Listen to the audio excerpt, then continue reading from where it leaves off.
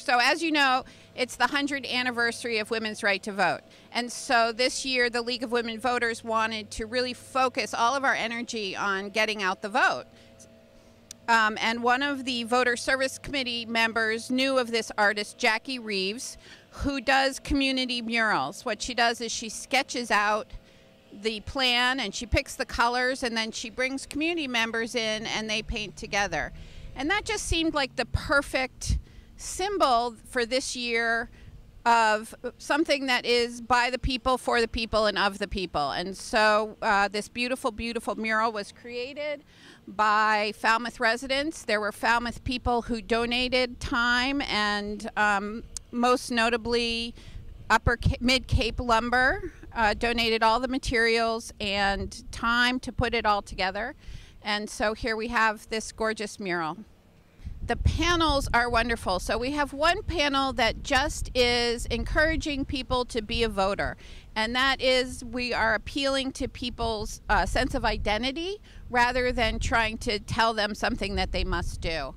And so that's just a picture of people of all different colors saying be a voter. Another one of the panels shows the different ways to vote that you can vote in person day of, you can vote in person um, early you can do a mail in vote and you can uh, drop your ballot off in the ballot box in front of Town Hall. And then the final panel is probably my favorite. It shows women voters throughout the centuries. I'm 17. I can't vote, but I, I want to encourage everyone who can vote to get out and do their part and participate in the election. Hi, I'm Kate Charette. I'm from Falmouth High School, and I decided to come in to let the town of Falmouth know you gotta vote if you can the response was amazing. People came all day long. We had about 70 people come. In fact, there were a few people who came who we couldn't even get in there, but we tried to get everybody in.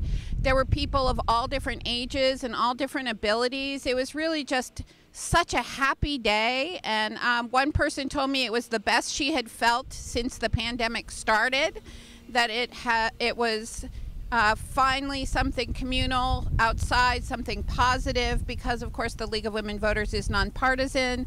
And with everything that's been going on this year, it felt lovely to just everybody being able to come together. The mural to me is a sign that we actually all have similar values. Even though right now it feels like a lot of us are fighting with each other and it's become so acrimonious, but this mural shows that all of us really are proud of being Americans, are proud of being voters, and really just want what's best. And so it was an opportunity to enjoy the community and enjoy each other amidst all this chaos.